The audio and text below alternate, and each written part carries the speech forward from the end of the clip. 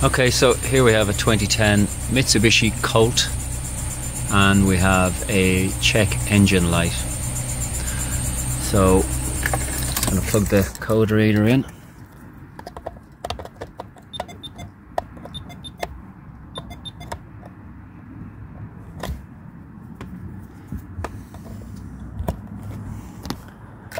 And put the ignition on.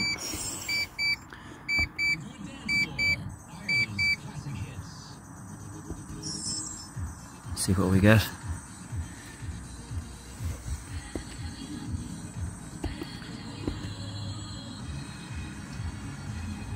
Oh, don't erase the codes yet. Read codes.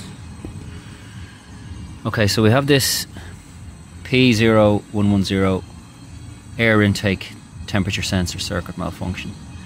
Now, I've cleared this and it comes on straight away uh, again when you start the engine. So it's not something that intermittently happens or happens after a while, it's straight away.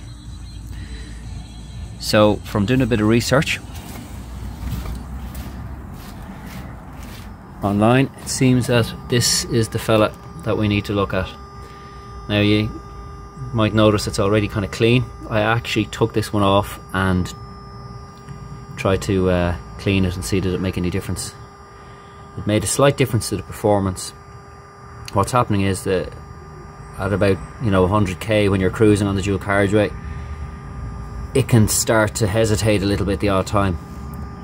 Um, so it's my son's car. He said it improved it a little bit when I cleaned it, um, but the engine code is still coming up, and the problem is still occurring as well with the hesitancy. So I'm going to replace this part. I have a new one that I've ordered, about 30 quid, 30 euros, and uh, I'm going to just replace it and hopefully that will fix the problem. It's very simple, just take this screw off, take out the um, connection here, and that's it. The part just pulls out. Um, this, I believe, has two functions. So the air, the intake air temperature, and also the air pressure. Um, so it's, it's in this one unit. So I'm going to replace that now, and let's see how we get on. So I've taken the part off the car. This is the the one that was on the car, and this is the new one. Now, one thing I've noticed is this little kind of I don't know if you can see it. This little kind of yellow um, little plastic tip. I don't know how important this is for the part, but it's actually missing from the one that was on the car. So I don't know if that's just come off, gotten loose and, and come off, and if it also affects the performance of the thing.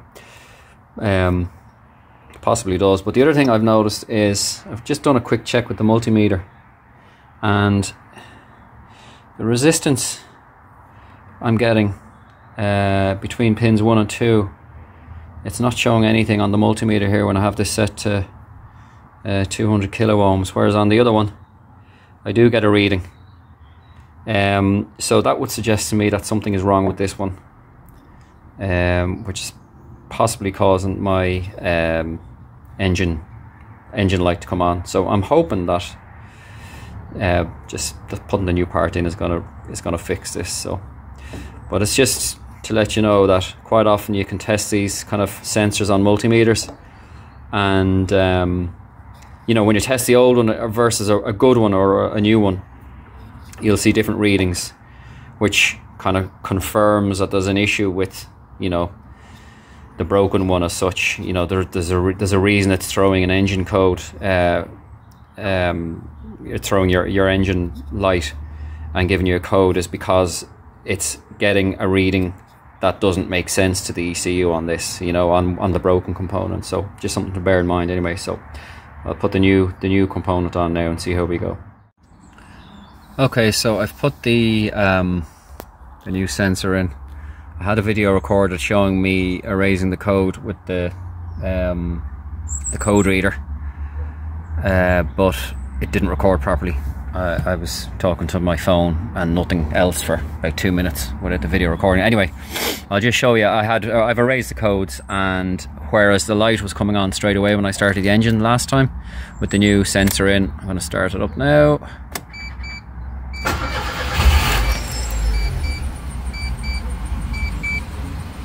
And engine light gone. So that was coming on and staying on um, previously. So based on the the readings I was getting on the multimeter with the um, the old part, it looks like there was something wrong with the circuit there, which kind of tallies with the the engine code I was getting. So all good.